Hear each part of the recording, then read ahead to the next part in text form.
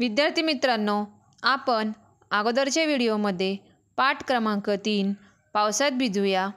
या कवितेच्या सुरुवातीच्या ओळी अभ्यासलेल्या आहेत. तर आता आपण उर्वरित कवितेच्या ओळींचा अभ्यास करणार आहोत. जिकडे तिकडे तळी तुंबली बेडूक सेना कोठून आली? आपल्याला यामध्ये पावसाचे पाणी साचलेले दिसून येत आहे. तर साचलेल्या पाण्याला तळे म्हणतात. ती तळी भरून वाहत आहे आणि पावसाच्या पाण्याचा आनंद घ्यायला बेडूक सेना हे देखील बाहेर येताना दिसत आहे. बेडूक हा प्राणी पाण्यात राहत असतो. तर तो देखील या पावसात बाहेर आलेला आहे. काल पावतो कोठे होती? डराव डरावचे बिगुल वाजती. बेडूक किती ते मोजूया? पावसात या भिजूया. यामध्ये मुलांनी सांगितले आहे की बेडूक हा कालपर्यंत दिसेनासा होता आणि पाऊस आल्यामुळे तो पावसाच्या पाण्यातून बाहेर देखील आलेला आहे. डराव डराव असा आवाज काढून तो आपला आनंद व्यक्त करत आहे.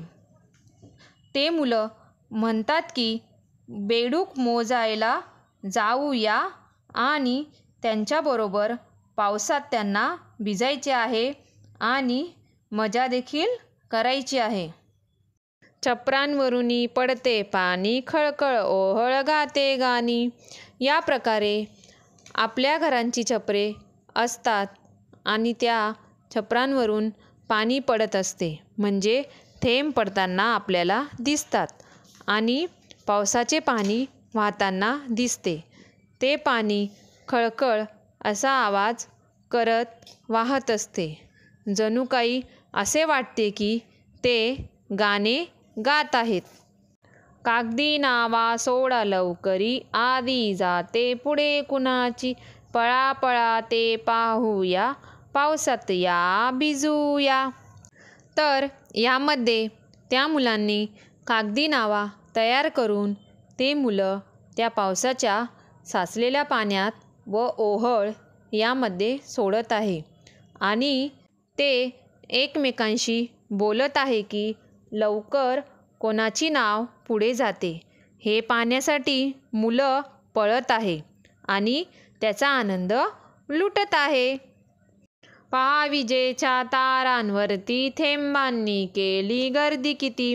यामध्ये विजेचे जे खांब असतात आणि ज्या तारा असतात त्यावरील जे जमा झालेले पावसाचे जे थेंब असतात त्यांना या मुलांनी असे म्हटले आहे की जणू काही थेंबांनी गर्दी केलेली आहे.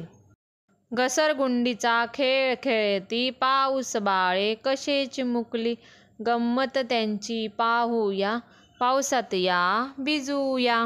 मुलांनी यामध्ये तारांवरती जे थेंब आहेत ते एकापाठोपाठ एक खाली पडतात. जणू काही घसरगुंडीचा खेळ सुरू आहे. त्यानंतर पावसाच्या थेंबांना पाऊसबाळे म्हटलेले आहे. कारण ती खूप लहान असतात चिमुकली असतात. आणि या थेंबांची गंमत त्या मुलांना पाहायची आहे. आणि हे सर्व पावसाचा आनंद घेत आहेत खूप मजा करत आहेत पावसात भिजत आहे. यामध्ये मुलांनो जसे पावसाचे वर्णन केलेले आहे अगदी त्याचप्रमाणे आपण देखील या पावसाचा आनंद लुटत असतो. कारण आपल्याला देखील पाऊस आवडतो. तर या पद्धतीने आज आपण पाठ क्रमांक तीन पावसात भिजूया ही कविता अभ्यासली आहे. तर मुलांनो मी तुम्हाला आज या पाठातून पावसाचा आनंद कसा घेतात ते सांगितले आहे. अशा प्रकारे मी तुम्हाला कवितेच्या शिकवलेल्या उर्वरित ओळींवरील शब्दार्थांचे वाचन करून दाखवते.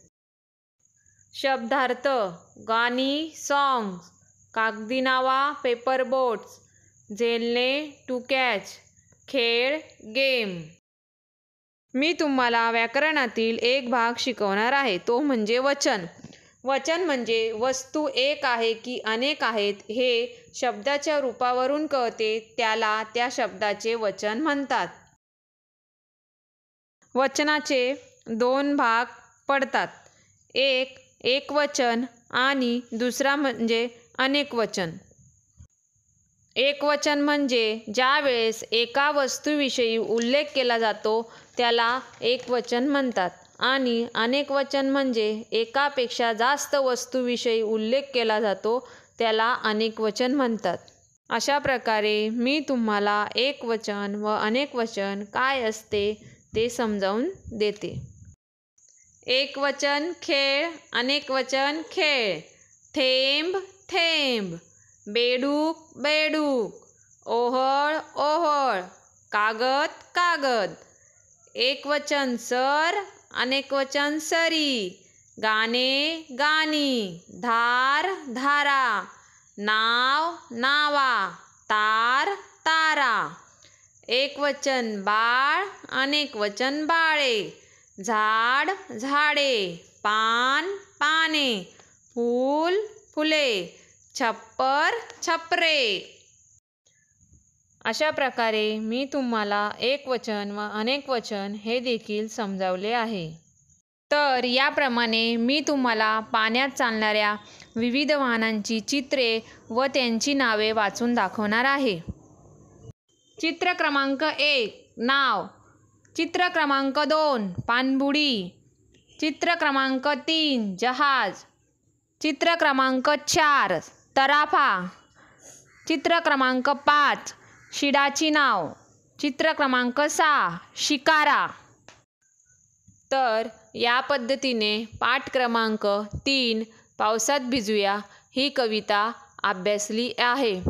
यावर आधारित शब्दार्थ व एकवचन व अनेक वचन हे देखील अभ्यासले आहेत. तर तुम्ही देखील यांचा सराव करावा. यावर आधारित काही प्रश्न विचारण्यात येतील. अशा प्रकारे आज आपला मराठी विषयाचा तास येथे संपलेला आहे. धन्यवाद. घरी राहा सुरक्षित राहा आणि स्वस्थ राहा.